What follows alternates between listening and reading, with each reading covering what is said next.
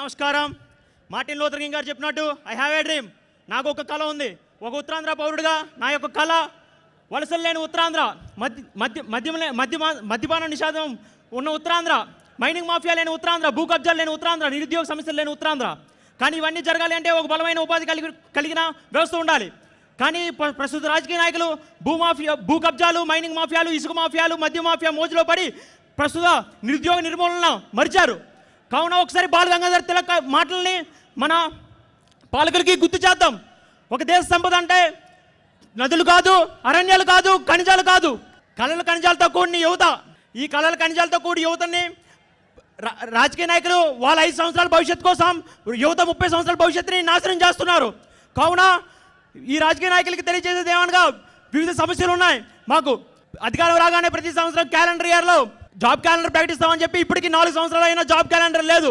ఉన్న ప్రకటించిన ఉద్యోగాలు ఆరు ల- ఆరు లక్షల్లో రెండు లక్షల యాభై తొమ్మిది వేల ఉద్యోగాలు కేవలం గ్రామ వాలంటీర్లు కావడం బాధాకరం.